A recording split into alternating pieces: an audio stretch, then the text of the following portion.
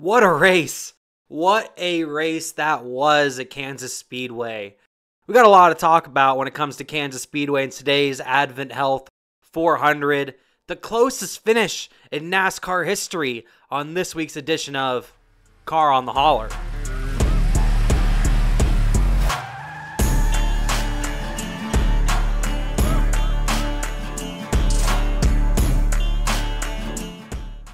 Hello, everyone. My name is Kyle, aka Racing Boy Short, and this is my channel where I talk NASCAR, NASCAR news, and everything NASCAR.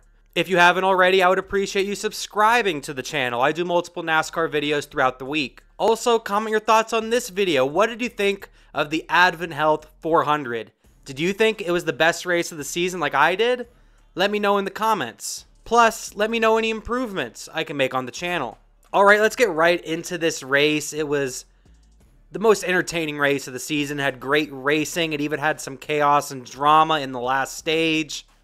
Just phenomenal racing. And this race once again proved how strong and how good the racing is with the next gen car at the mile and a halfs and intermediate tracks. This race ended up starting a couple hours late because of a rain delay. And I think that made the race even better because I was able to sit down and watch Lando Norris win the Miami Grand Prix. I was really happy to see that. And then afterwards, I got the best race of the season in the Cup Series. And I love those races in the Cup Series where it starts in the day and it ends in the night. I love that. I love that feeling. It's just, it just makes the race that more epic, in my opinion. We saw great racing throughout the day. That first stage was full of Larson versus Chastain, Larson versus Hamlin, Hamlin versus Chastain. Those three kept on going back and forth, especially Larson and Chastain in that very first stage. It was phenomenal racing. I was so entertained by what we saw in the first stage. Are you not entertained? Then we got to the second stage, and as the race went on, you began to see a couple of drivers begin to pick up their pace as the track began to change. And two drivers I got to name immediately are Chris Buescher and Kyle Busch. I caught during the broadcast that Larry Mac accidentally called Chris Buescher Kyle Busch when he went flying through the middle five wide. Yeah, we had five wide at one point today. It was a crazy race. But also, with a couple of drivers getting faster as the track changes, there was a couple that began to fall back most notably Ross Chastain. Yeah, when we got to the third stage of this race, Ross Chastain was was absent. Honestly, I don't even know where he finished. He wasn't competing for the win, was not competing for a top 5 at the end of this race. And those last 100 laps of this race were pure chaos plus some great racing and strategy. There was a good 20 to 30 lap span where these drivers just could not clean it up Cautions breed cautions, and we had caution after caution after caution during this gap until the drivers finally began to clean it up. And once they cleaned it up, we saw a strategy begin to develop. We saw there late in the race that there was a potential that this could be a fuel strategy finish.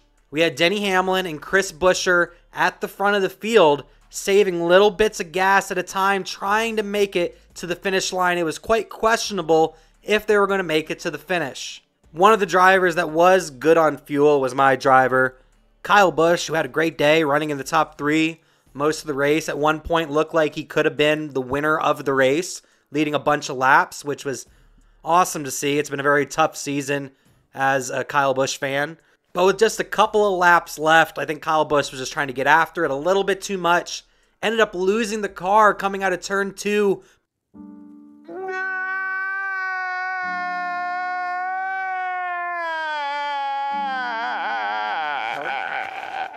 bringing the caution out with only a few laps to go. And I'm going to say it right now. If that caution did not come out, if Kyle Busch didn't spin, Martin Truex Jr. would have won this race. He was flying in those last couple of laps before we got the caution, and he was good on fuel. So, of course, with most of the field having many, many laps on their tires, over 50 laps on their tires, they decided to come down pit lane. And this was the most important race off pit road all race long. And Hamlin and Buescher end up getting off pit road one and two. Hamlin was struggling on pit road all race long, struggling to get out of his pit box, got held up on pit lane by Ryan Preece at one point as well. But it looked like finally heading on this last restart that Denny Hamlin was actually going to come out where he went in. But then we get this green white checkered restart and finish, and Kyle Larson made a hell of a move. Denny Hamlin even mentioned in his post race interview that he knew Larson was probably going to do that, and he did it, and he did it very successfully, putting Hamlin behind him. Larson decided to jump to the inside lane, make it three wide heading into one and two. Hamlin had to back out of it, and then it ended up becoming Larson versus Buescher for the finish. And let me tell you, this battle was epic. Now, this is epic. They were neck and neck, hitting each other almost up into the wall in three and four. I thought they were both going to crash into the outside wall, and Truex and Elliott were going to go past, and they were going to have their photo finish for the win. But they ended up making it through turns three and four without wrecking. They made contact off of turn four. They come all the way down. Larson hits Buescher very hard in the door, almost pushing Buescher into the grass. And we had this epic close finish, the closest finish in NASCAR Cup Series history. And from the camera angle we saw live, I thought Buescher had the race won. The pylon said that Chris Buescher won. I jumped up and I'm like, yes, Chris Buescher gets the win. Christopher Buescher wins at Kansas Speedway. I was hyped. I was jumping around, so hyped for Chris Buescher. I like Chris Buescher. He's a good guy and deserved the win. Looked really strong all day. Wait a minute. Wait a minute. Kyle Larson wins the race. There was a lot of confusion, not just from the fans, but also from the teams as you saw the 17 team begin to celebrate as they thought they won at Kansas Speedway in the Advent Health 400. Scoring, though, said something different 0.001, the margin of victory for Kyle Larson, only winning by one thousandth of a second. We've had some insane close finishes in NASCAR history. The race between Craven and Busch at Darlington comes to mind. The tandem drafting at Talladega comes to mind.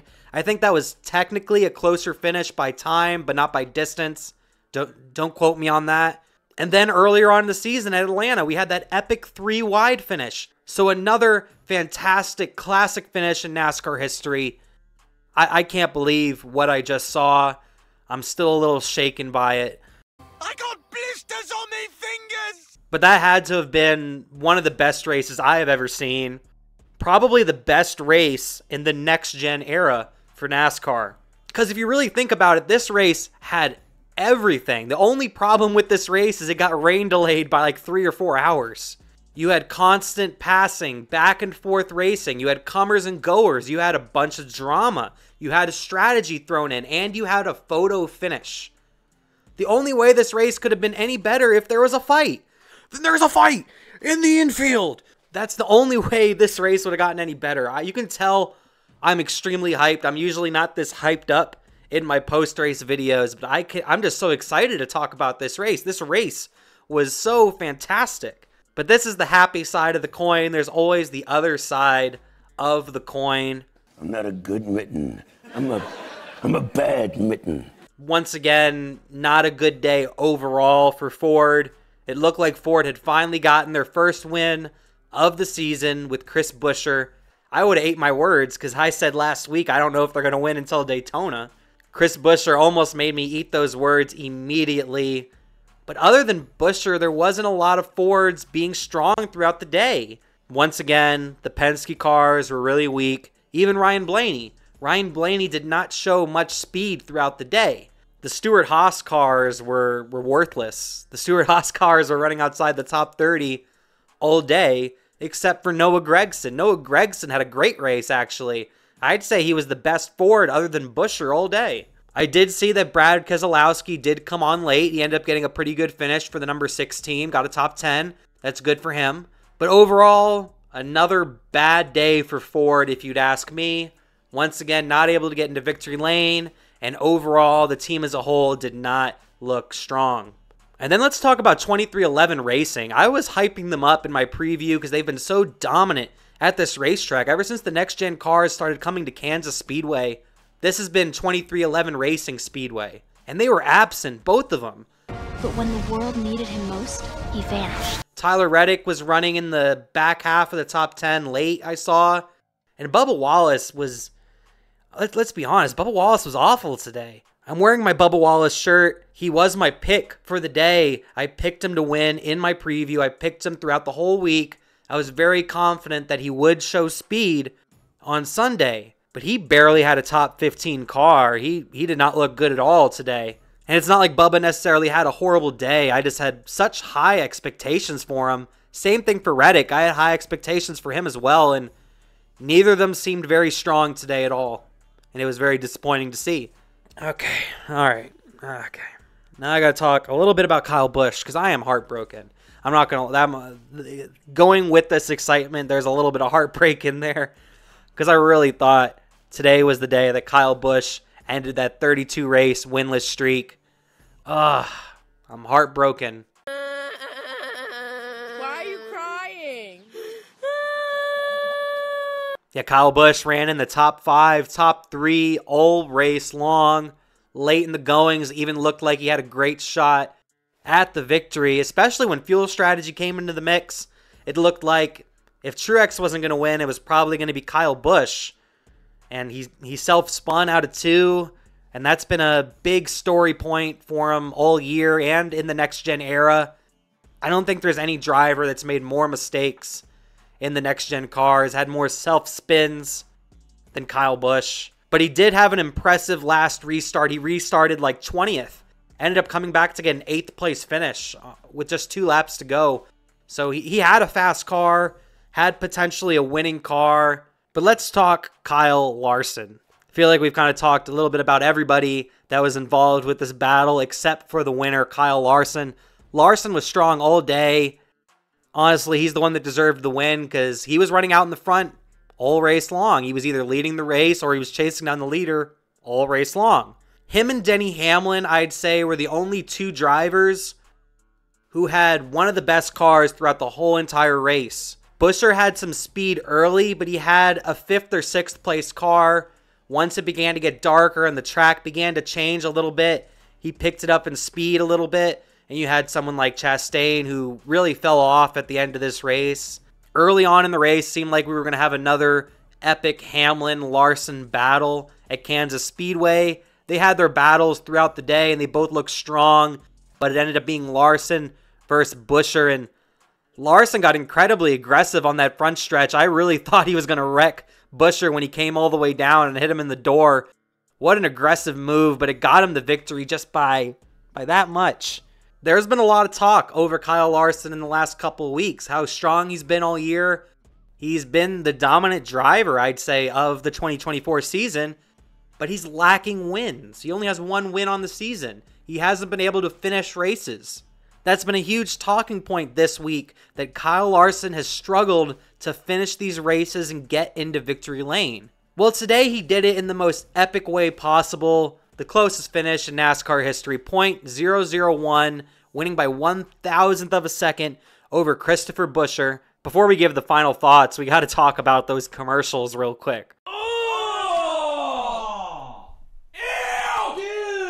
I didn't have a commercial count. I really need to start counting how many commercial breaks we get during this ra- these races because this had to have been a new record. There was an abundance of commercials during this race. I said it on Twitter during the race. It was very frustrating to get all of these commercials, but at the same time, this is one of the few instances where I completely understood why there was more commercials because you have to think about it. NASCAR delayed the race by a couple hours so they had to buy in to more TV time for Fox. More TV time means more money. They need more money from these commercials. So I think that's why they ran so many commercials. There's usually a lot of commercials during NASCAR races. Let's not fool anybody.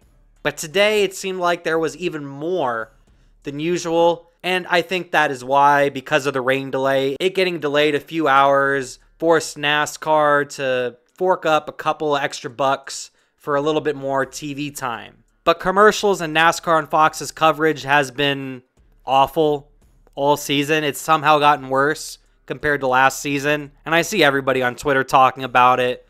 And they're not wrong. All right, let's get my final thoughts on the Advent Health 400 at Kansas Speedway. These next gen cars really struggle on the super speedways, the short tracks, and the road courses. I've been over this on the channel a couple times. The mile and a halfs, the intermediate tracks are amazing. I really enjoyed the racing we saw out there today. We saw comers and goers once again, like we saw at Dover, but we definitely saw more passing. We saw air have less of an issue on the driver's performance today. I just don't see how this race could have gotten any better. I just I don't. It was such an exciting, fulfilling race, if that makes sense. It was fulfilling. I'm heartbroken not just for Kyle Busch, but I'm I'm really heartbroken for that number 17 team and Chris Buescher cuz they thought they won the race. There was a good 10 seconds there that the 17 team and Chris Buescher thought they won the race even from certain angles, it still looks like they won the race. There's even this picture circulating online where it looks like once you go above the apron, the start finish line extends like an extra inch or something. I've analyzed that picture and it looks like even if there wasn't that little line there, Kyle Larson still would have edged him out by just a little bit. But it, it's heartbreaking. It's heartbreaking. It's been a tough season, not just for Chris Buescher and RFK Racing, but it's been a really tough year for Ford. I made a video just last week talking about the struggles of Ford and NASCAR. They haven't won a race all season in any of the three primary series, and once again, they come up short. Just really disappointing for Chris Buescher for RFK Racing and for Ford. Buescher did get a second place finish though, and that is a great finish for him. But I know leaving the track right now, he's not happy with the second place. He has to be disappointed. And Kyle Larson, he finally finishes the job. Had a great race, had a great finish, was able to finish it off and get to victory lane for the second time this season. It was the wrong Kyle in victory lane, if you ask me. It should have been Rowdy. It was Rowdy's day. But we're done with Kansas Speedway. The Advent Health 400 is over with. Next weekend, we head to Darlington for Throwback Weekend. Should be a great race. Darlington tends to put on some great racing, some exciting racing, and it's always great to have a little bit of nostalgia with the race. It being Throwback Week, I will post a video at some point this week where I'm going to go over all the throwback schemes this week. What do I think about them? And which throwback scheme do I think is the best? So next week is Darlington. I hope everyone enjoyed Kansas Speedway. If you didn't enjoy Kansas Speedway, don't bother to watch. Some of you were enjoying Kansas Speedway so much, I saw some people asking for Chicagoland and Kentucky to come back. I'll definitely agree with Chicagoland. I don't know about Kentucky. But that'll do it for me here today. Thank you for watching. My name is Kyle, aka Racing Boy Short, saying peace.